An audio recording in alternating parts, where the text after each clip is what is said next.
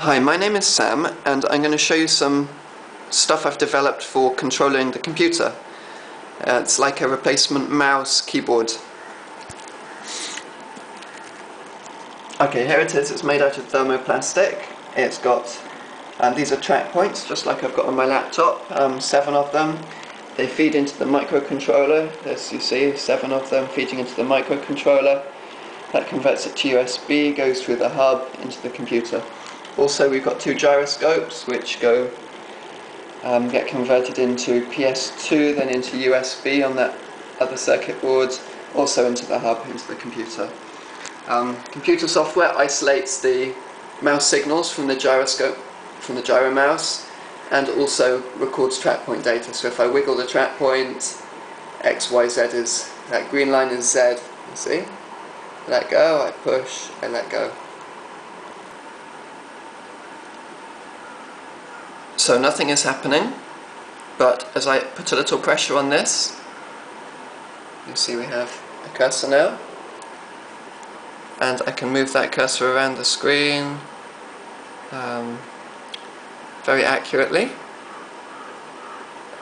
and I can vary the pressure, I can, so I push harder, the circle will get smaller, it will get slower, so more accurate, and the zoom will increase.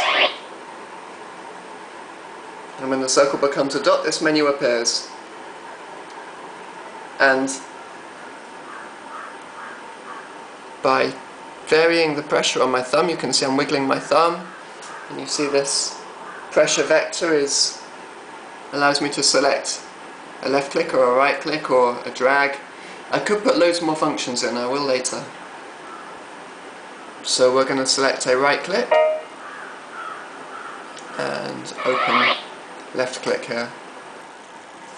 And there we have my contact details. So now we close it.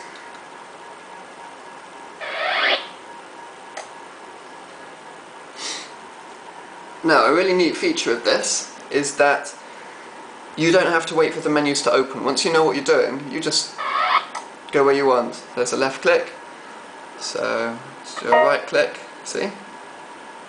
Another right click here, right click on the document. Yeah, it's a very accurate, fast navigation system. You can map all these other buttons to do different stuff. Um, I plan to put buttons under the fingers. One, two, three. One, two, three.